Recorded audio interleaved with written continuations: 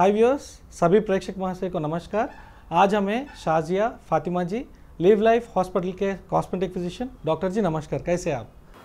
I'm good. How are you? मैं बहुत अच्छा हूँ। और आपने हर एक एपिसोड में बहुत सारे अच्छी बात बताई हमारे प्रेक्षक महाशय के लिए। उसके वास्ते धन्यवाद पहले आपको।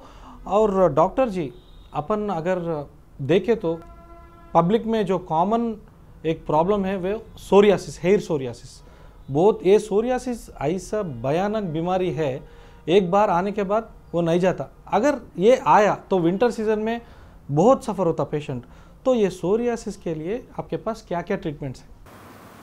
आ, जैसे हम इनिशियली हमने ऑटो इम्यून डिज़ीज़ के बारे में एलोपेशिया एरिएटा कवर किया था। हाँ। वैसे ही सोरियासिस कम्स ऐसी बीमारी में जो आपकी बॉडी खुद प्रोड्यूस कर रही है। अगर कॉमन लेमैन टर्म्स में मैं किसी को समझाने के लिए बोलूँ जिन्होंने कभी सुना नहीं उसके बारे में हाँ। यही होगा कि हमारी स्किन 28 टू 32 डेज़ में शेड होती है। ओके पर हम उसको देख नहीं पाते हम स्नेक स्किन देख पाते हैं पर अपनी स्किन नहीं देख पाते।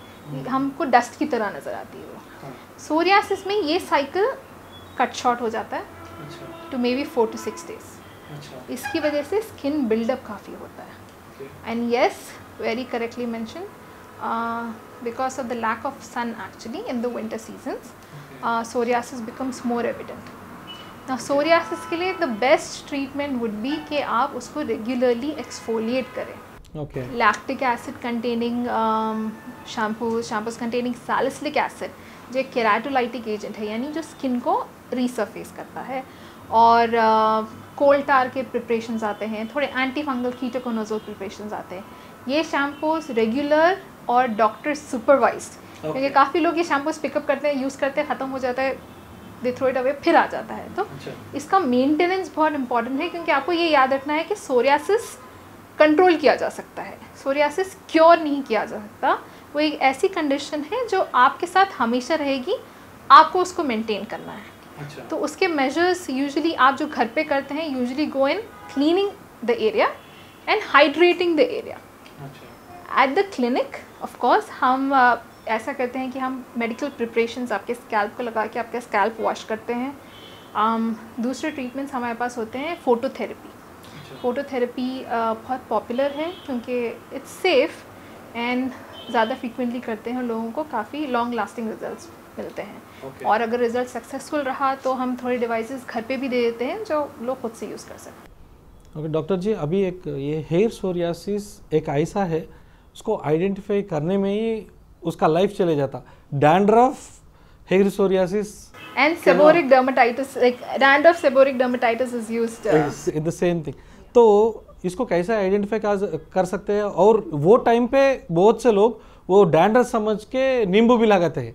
तो उससे बहुत और भी इफ़ेक्ट होके पेशेंट का कंडीशन थोड़ा सीरियस भी हो सकता क्या? नींबू ड्राई कर देता है। नींबू ड्राई करता है। तो वैसे कंडीशंस में बोले तो आपके लिव लाइफ हॉस्पिटल में वैसे पेशेंट भी अगर आए तो उसका सोरियासिस को कंट्रोल कर सकते हैं आप?